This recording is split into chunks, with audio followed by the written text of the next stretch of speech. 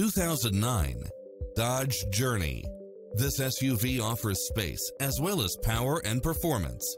If you're looking for extras, look no further than these built-in features. Heated side view mirrors, brake assist, power outlet, front bucket seats, engine immobilizer, auxiliary input, stability control, passenger side airbag sensor, adjustable steering wheel, traction control. Call us, we'll help you take home your favorite vehicle.